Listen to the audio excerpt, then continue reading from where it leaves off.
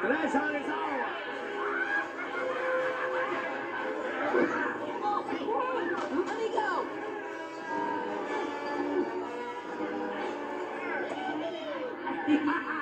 it's time for you to meet your maker, Peter Pan!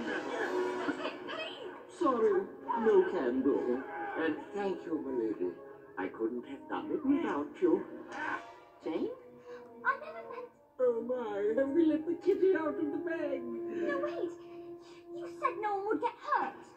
You gave your word. And Captain Hook is a man of his word. I promised I wouldn't harm a single hair on his head. And Ow! This is the one I won't harm. here you keep it. The rest of him is mine. I didn't do it, Peter. I never agreed to this. You're a traitor, Jane. You lied to me. And because you don't believe in fairies, Tink's light is going out. Tinkerbell.